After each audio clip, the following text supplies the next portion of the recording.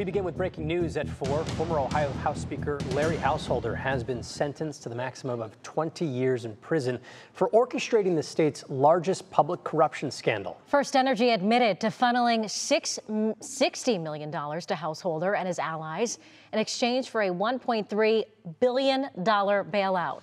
The federal judge in Cincinnati scolded Householder for his financial greed.